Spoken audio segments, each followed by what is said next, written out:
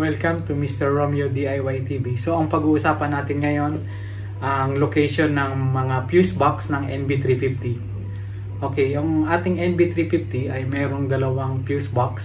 Uh, kaya kaya itong video na to ay ginawa ko para sa mga newbies. Para sa sasakyan nila kung sakaling uh, ma-experience nyo na mawalan kayo ng busina o mawalan ng power dun sa cigarette lighter, alam nyo kung saan pupuntahan at yung iba pang accessories ng NB350. So actually makikita nyo din ito sa manual na nakalagay doon sa glove box natin kung saan nakalocate yung fuse box. Okay, so ang pag-uusapan natin ngayon una yung uh, fuse box na malapit dun sa may car battery. So open nyo lang yung inspection cover ng engine. Makikita mo yun malapit sa battery compartment. Nandyan yung fuse ng horn, fan, alternator, ignition switch, washer, audio at iba pa. Uh, since nandito na rin tayo, uh, ipapakita ko na rin sa inyo yung location ng uh, isa pang fuse na nakakabit naman sa positive terminal as uh, ng battery. So, i-share ko na rin uh, isang member natin uh, nasiraan. Actually, bagong palit yung battery niya, nagkapalit siya ng nagkamali siya ng pagkabit ng terminal. So, napagpalit niya yung positive tsaka negative. So, ang masisira dito, once i-start mo, yung fuse na yon yung fuse AC sa positive terminal mababasted. So papalitan lang natin yon para mag-start ulit. Okay, so watch for the next video para makita nyo kung saan yung location nitong uh, first fuse box at saka yung positive terminal AC. Okay, ito yung location ng uh, one fuse box na malapit dun sa battery compartment natin. So makikita mo yan, naka-cover pa yan. Nandyan yung mga rate ng ampere. So make sure same rate din pag nagpalit tayo. Ito naman yung isang fuse na sinasabi ko sa may positive terminal ng battery. So 140 ampere yan. So yan is kagandahan yan kung nagkamali man tayo ng connection ng cable. Yan ang unang puputok para hindi madama yung ibang malalaking parts like yung computer box at ibang accessories. Okay, so we proceed for the next video. So, nakita nyo na yung first fuse box. Uh, isusunod naman natin yung isa pang fuse box. Located naman siya sa may passenger side. So, glo sa glove box, tatanggalin natin yon. So, pagtanggal na natin yung glove box na yun, makikita mo, dalawa yung fuse box. Isa sa harap at saka dito sa gilid. Okay, dito sa may harap muna, unahin natin. Ano ba yung mga laman ng uh, fuse box na yon? So, nandun yung uh, fuse box para sa mga fuse na makikita doon sa stop lamp, room lamp, fuse box na para sa blower, engine, washer, airbag, meter, cigarette lighter. At yung sa, side naman, nandun yung mga fog lamp, fuel pump, rev lamp, ignition, injector, ignition, uh, wiper motor, air, aircon clutch, battery, EGI, and meter battery. Okay, so ipapakita ko sa inyo kung saan ito makikita. So, watch for the next video.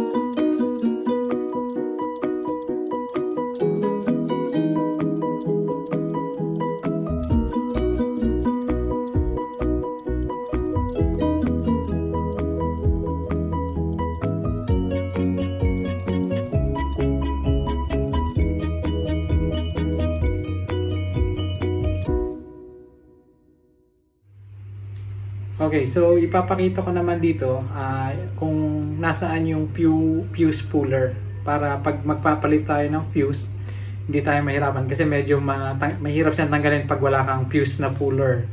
So, watch for the next video kung paano gamitin yung fuse puller at saan ito nakikita.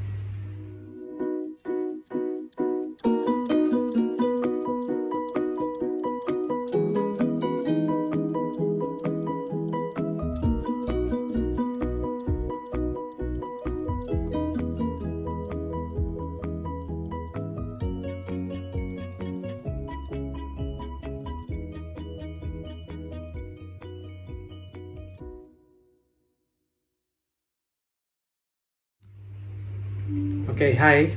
So, ituturo ko naman ngayon dito uh, paano magpalit o mag-check ng uh, fuse na busted. Okay, number one, uh, make sure naka-off yung uh, ignition switch nyo. And then yung headlight switch din, dapat naka-off. Number two. Number three, uh, open mo yung engine inspection cover. O, para makita mo yung fuse box o doon sa globe compartment kung nandun naman yung sira. So remove natin yung cover ng fuse box doon sa may engine compartment yung malapit sa battery. And then allocate natin kung ano yung fuse na, na dapat nating palitan. So gamitin mo yung uh, fuse puller. Uh, yun, ito nakalagay itong fuse puller doon sa may uh, globe box. So pagtanggal mo, install mo yung makikita mo yung busted na hiwalay yung wire niya. So yun yung kailangan mong palitan. Ang good naman dapat magkadikit yung wire. So pag nagkahiwalay na busted ay palitan. So let's say napalitan mo na ng bagong fuse. Pagkatapos mo ikabit, nag-start ka, chinek mo, nag-busted uli. So mas kailangan pumunta ka na sa pa-check mo na yung electrical system mo sa inyong uh, trusted na electrical shop. Okay, so bibigyan ko pa kayo ng dalawang tips about dito sa pag uh, mga fuse na to. So, uh, wag na wag kayong mag-ground ng uh, directly doon sa terminal ng battery dahil uh, mababypass mo yung variable voltage control. So, yung variable voltage control na to, uh, ito yung nagko-control ng uh, voltage dun sa ating uh, NV350. So, ang yung battery maaaring hindi mag-charge na maayos advice ko na gumamit ka ng electrical accessories with engine running to avoid discharging nitong battery. So ang ating NBI equipped nito ng variable voltage system, control system. Ang system ay para ma-measure ang amount ng electrical discharge from the battery para makontrol ang voltage na generate ng ating alternator. Okay, ang pangalawa nating tips, never use na mataas na ampere o mababa na amperage rating dun sa naka-specified na rating na fuse. Nakalagay naman yun sa fuse box cover. Bakit? Dahil pwedeng masira yung electrical system at mag-cause ng sunog. Okay, so sana nagustuhan nyo yung uh, video na to at nakatulong sa mga newbies.